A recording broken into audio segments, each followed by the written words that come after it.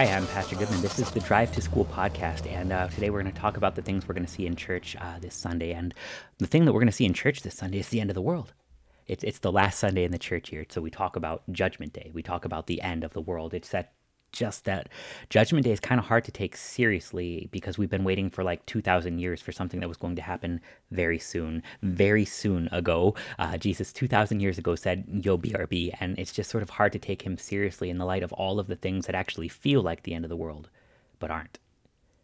It's hard to talk about Judgment Day in church because, well, there's so many other things vying for our attention that actually feel like the end of the world the economy, the politics, the war, the rumors of war, all of the things that are going wrong in our lives that just sort of feel like they are way more important than talking about Jesus returning to judge the living and the dead. I'm not saying that stuff doesn't matter. It does, which is why we actually think that it's the end of the world.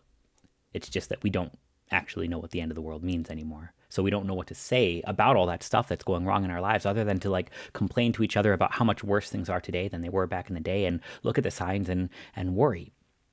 So today we're given a gift.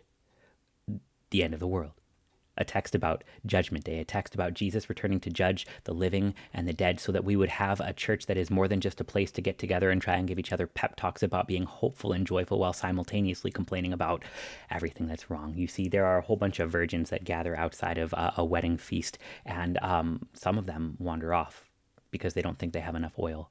And then the bridegroom returns. But when the bridegroom returns, everybody's asleep, everybody's missing, everything's falling apart. And it's wonderful. It's wonderful because the job of the church is no longer than to prop up a dying world. The job of the church is no longer to fix the wars and the rumors of wars, the economies, the budgets, the all the problems in your life and your families. The church is simply a place where we go to fall asleep, waiting for the bride to finally return. It's taking too long.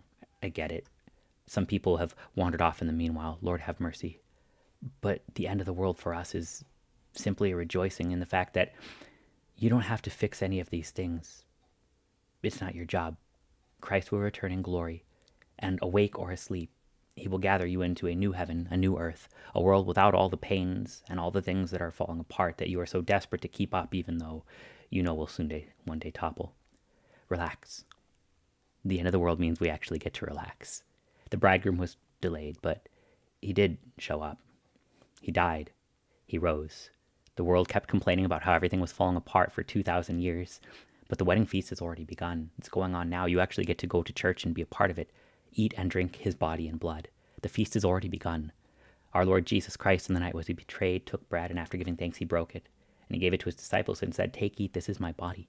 You are invited to eat that now, to know that when you eat here, you, you eat there. You will not be left out on that last great day, and you are ready. Whenever the end of the world actually happens to be, it won't come because everything fell apart and we couldn't prop it up. It would show up because Jesus decided today is the day. I'll return in glory. Thanks be to God for it. Because now, now we just go and we sing hymns while the world decays and it becomes beautiful. It becomes beautiful because we fix our eyes on the one thing that actually does save us. All the other things falling apart are not the end of the world. We know it is, and we know it'll be a glorious day when our Lord returns to judge both the living and the dead you waiting in the church. It'll be a good day. Drive to School is going to be taking a week off for Thanksgiving because you're off of school. Uh, we will be back the uh, the Monday after Thanksgiving. I don't know dates, but I think that's probably like awful close to December. So take a week off, enjoy Thanksgiving, and uh, we'll see you on the next one.